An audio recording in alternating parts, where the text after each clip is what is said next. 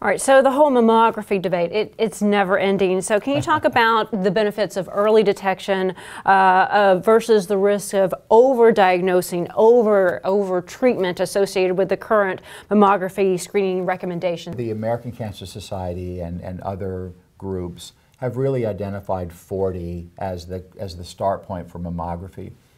So, the short answer is mammograms save lives.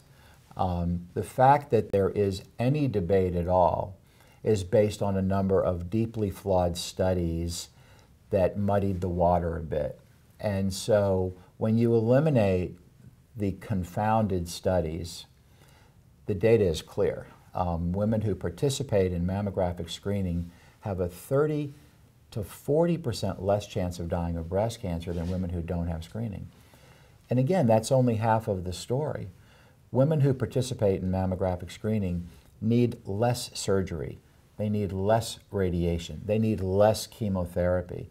And so the fact that there is a debate about this still to this day uh, is a head scratcher for me. I just can't I can't understand it. Well, and you as a doctor, um, you know, how do you how do you rectify that? There are patients out there, doctors out there who have options, and um, it's wonderful that there are so many options. But is it to a certain degree? Gosh, too many options, and again, the risk of, of over treating. Is there a downside to over treating? Well, the, the answer, short answer is yes. Um, if if I have a woman who's 85 years old and she has a heart condition and she has diabetes and she's sort of struggling day to day, it doesn't make a lot of sense for me to get a mammogram, uh, find a breast cancer that is never going to threaten her health.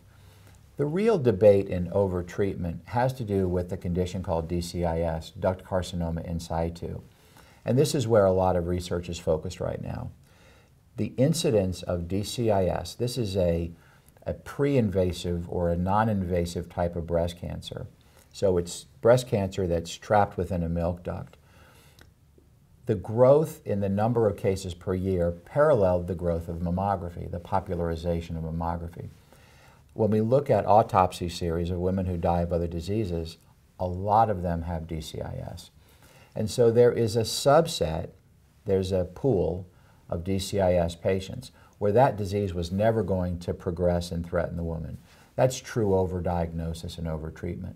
We don't really have tools yet to identify the good DCIS from the bad DCIS, but we will. There's no question that we will.